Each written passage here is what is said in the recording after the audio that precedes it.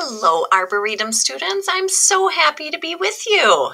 I bet you're wondering why I'm wearing these sunny glasses and my sunglasses inside my office.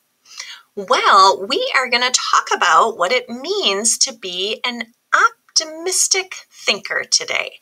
And my book is called A Little Spot of Optimism, and that's a really big word, and it might be a new word for some people. My glasses have to do with being an optimistic thinker. Some of you maybe guessed it. It means to look at the bright side of things. Try to have the sunny kind of thinking. There are going to be some situations where things don't go your way, or a situation is difficult or challenging um, or really hard.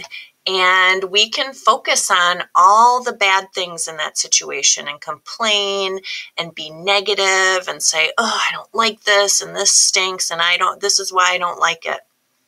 Or we can use our growth mindset thinking that we've talked about this year and really looking at the positive side of things and focusing on, well, this situation is hard, but I'm not giving up. I'm going to stick with it. I'm going to put effort in and I'm not giving up.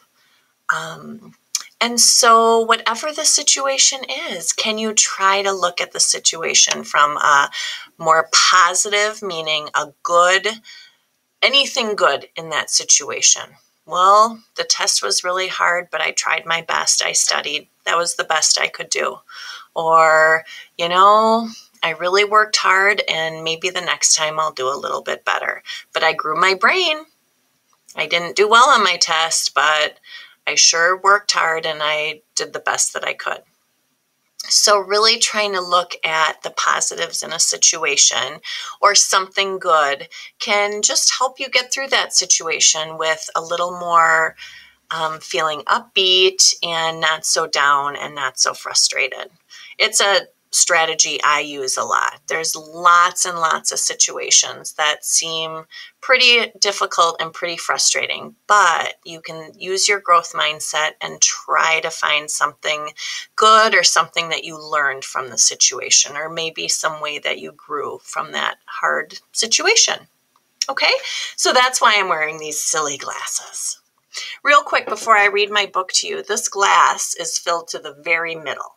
Okay, and an optimistic thinker looks at the glass as half full, like tries to be a positive thinker. So if my friend's really thirsty and I share this with my friend, my friend might say, if they're being an optimistic, sunny, bright thinker, Oh, wonderful. I was so thirsty. I'm so thankful. Oh, you're the best and drink it up and be really appreciative for what you have instead of complaining, oh, I really wanted a full glass. So that person will probably feel pretty good to get this glass of water.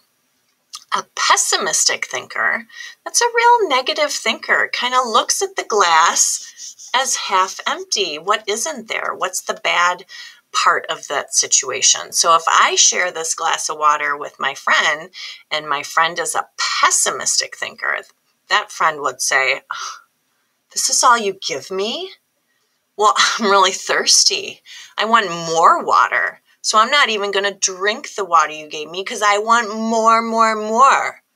And just looks at that situation with this half empty viewpoint, this negative thinking, and doesn't stop to appreciate the good thing, which is hey, there's half of the water in the glass, and if you're thirsty, you should be really thankful for what you get.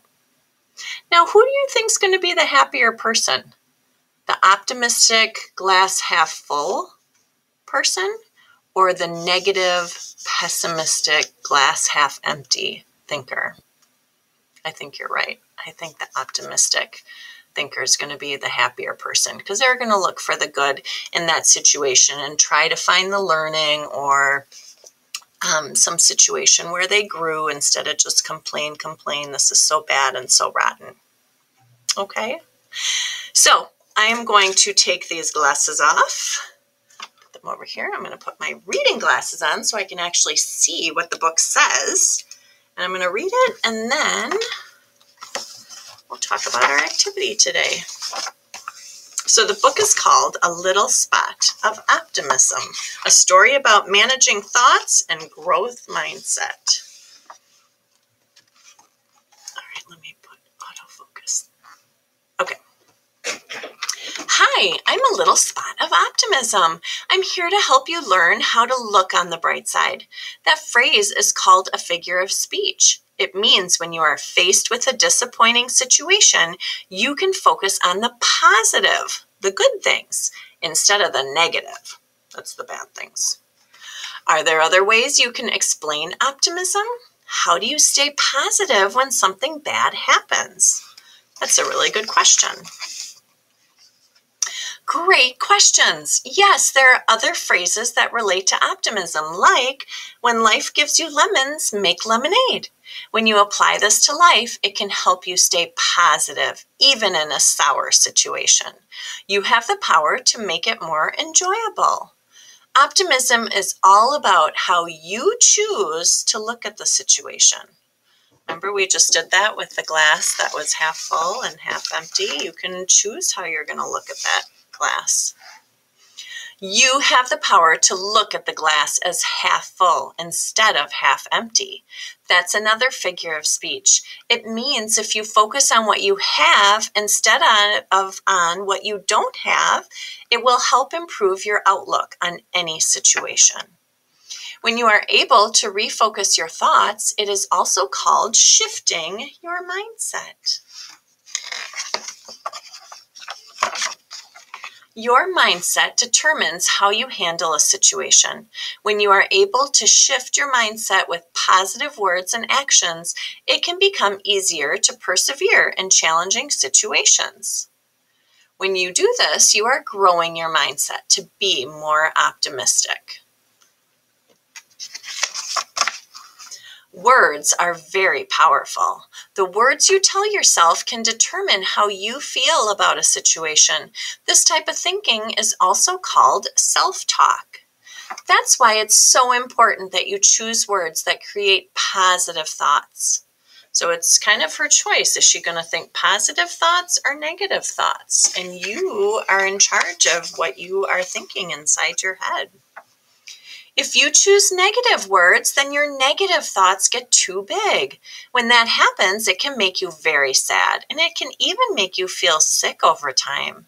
I'm going to show you some words that you can use to shift your thoughts from negative to positive. Let's look at a time when you lost your soccer game. You were very sad and disappointed instead of letting your self talk focus on the negative, so you say these negative things to yourself in your head, you could have chosen words that helped you see the positive. Let me show you.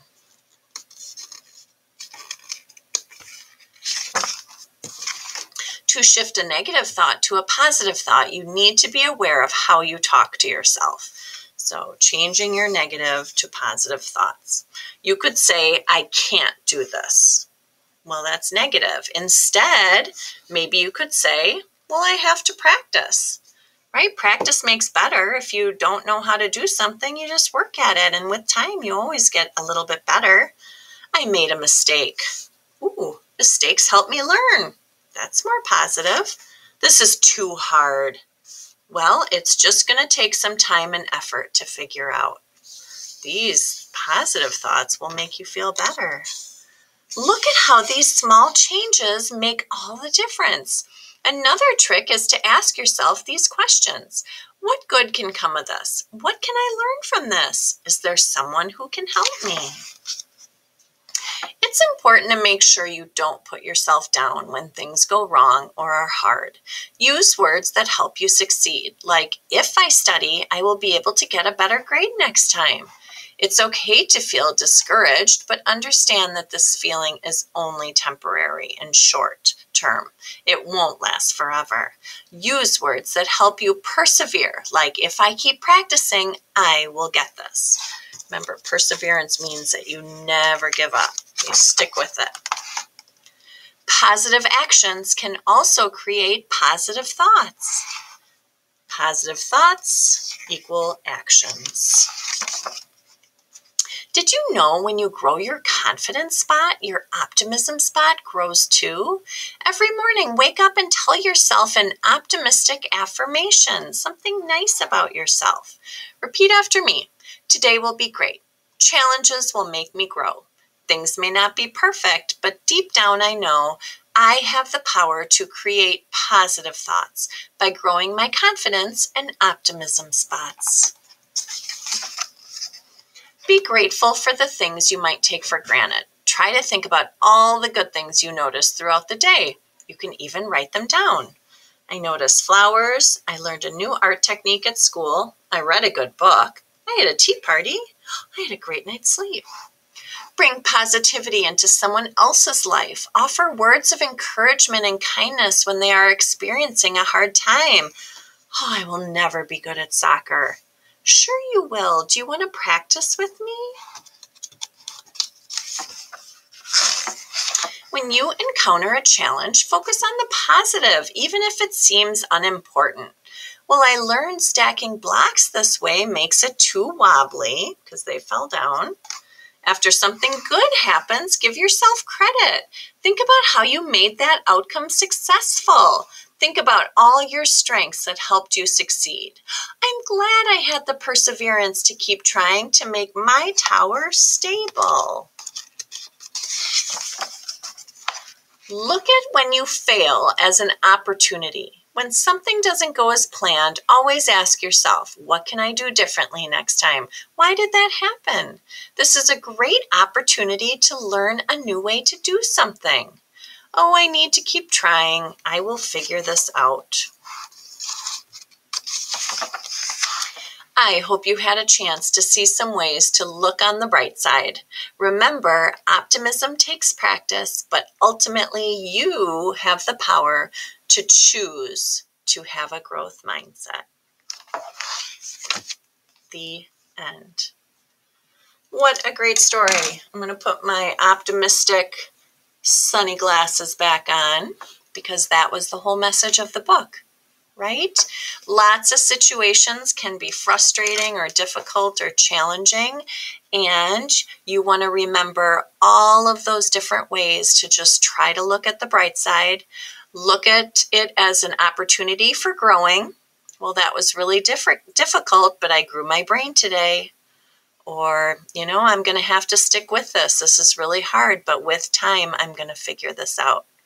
I'm growing my brain, I'm learning, I'm trying hard, I'm doing the best that I can. And that is really positive thinking because you guys are. You're all working hard, all doing your best, and all of your teachers are really proud of you. This um, message today is really important.